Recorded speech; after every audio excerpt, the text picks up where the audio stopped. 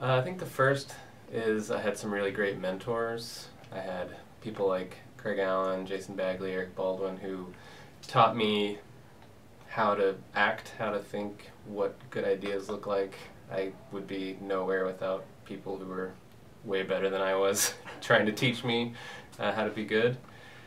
Um, I think coming to the Brandcenter was probably the second one. I know for sure I wouldn't be standing here if I didn't go to the Brandcenter. Um, it was, besides meeting my wife and having children, it was probably the best decision I ever made. It led me down a path that there's just no way I could have done anything remotely like I've gotten to do since then without going to the Brandcenter. And three, I think, is just harder to work. Like, that's it. It's just how many, how much can you do? How, how prolific can you be with the opportunities that you're given, and how many projects can you take on at once? Because you only get so many at bats as a creative, so getting more and more reps in is really important, and working hard when you get them.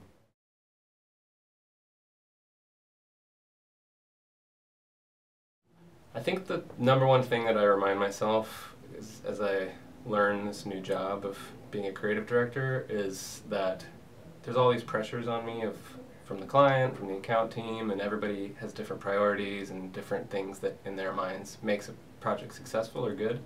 But I just have to be the one that like fights for good work. Like at the end of the day, that's it. It kind of stops on my desk. Like if good work or bad work leaves the building, so I just reminding myself and the incredible responsibility of that and terrifying responsibility of that. That it's sort of you know there's I I can't let bad stuff leave.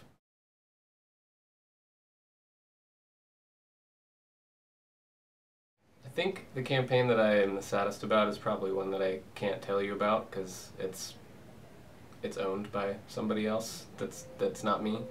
Um, but it was a campaign that had a large whale and a and that lived in a field with a, with a friend. And that's it. I can't tell you. But I worked with a, a, an amazing art director named Jeff Williams, and we had this campaign that was just something totally new. And to this day, I've never seen anything like it. And I just wish we could have made it and because other people could have seen it and it was so different from any other ad campaign I've ever seen that I think people would have liked it a lot.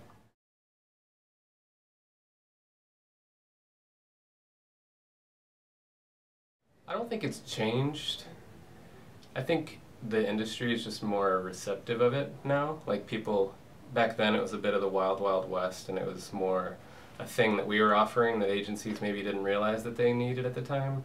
But now I think most agencies realize that they need people with these kind of capabilities. So I would hope that the program is more focused and that the agencies can know what to do with people that have sort of more digital skill sets because when I went through it was it, nobody was asking for that yeah. that job to, to some extent except maybe Wieden and Kennedy. So um, I think the industry is caught up with the the forward thinkingness of the Brandcenter.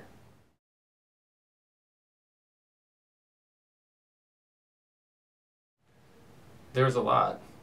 Like I said, I I think I came out of the Brandcenter, and I'm not kidding, a different person than I was when I came in. Not just like my abilities. I think I was actually different somehow. But a lot of things didn't make sense that I learned at the Brandcenter until I got into an agency and like oh like things clicked that that somebody had said uh, and it made a lot more sense after I had some context around it. One of them that I go back to a lot is something that Mark Fenske said that was if somebody can ask you to do something, you shouldn't do it. And what I think what he meant by that was if if if it's not new, you shouldn't do it. If it's not something that you haven't seen before, then you're wasting years and everyone else's time because you're just recreating, you're mimicking something that you've seen instead of trying to create something that no one has seen before. So that has served me pretty well actually, but it didn't really click until I started working at Wieden, and then it just popped into my head one day, and I was like, oh, I, I see. He's actually that was really smart.